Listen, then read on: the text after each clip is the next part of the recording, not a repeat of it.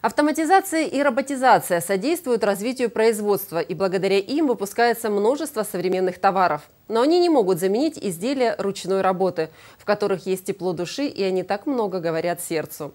Народные умельцы представили свои работы в городском доме культуры. Кладовая ремесел – так называлось мероприятие, посвященное Дню дружбы и единения славян, которое убедительно продемонстрировало богатую палитру славянских мастеров декоративно-прикладного искусства. На выставке их работ, развернутой в фойе, можно было увидеть изделия, выполненные в самых разнообразных техниках. Анатолий Строчкин давно уже выбрал дерево как лучший материал для творчества. Особенно ему нравится липа за мягкость и пластичность, ну и другую древесину он тоже использует. Обычно легкий это липа, обычный поделочный материал. Это удобно.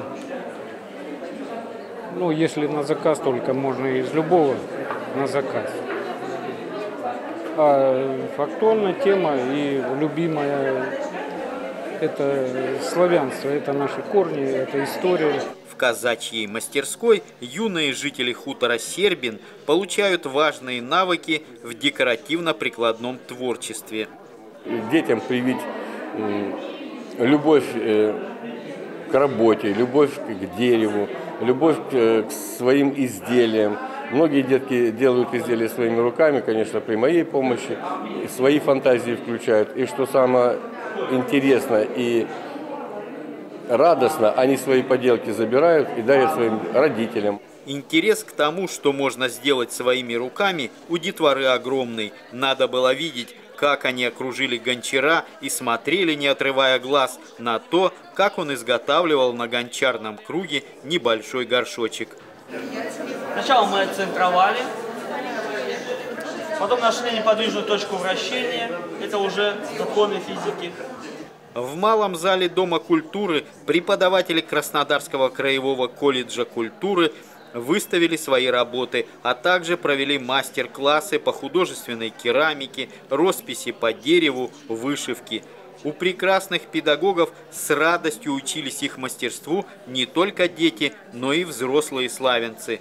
Очень большой интерес вызвал мастер-класс заслуженного работника культуры Кубани, преподавателя высшей категории Любови Чизгановой по художественной росписи тканей. В чем заключается техника эта? Потому что она непредсказуемая.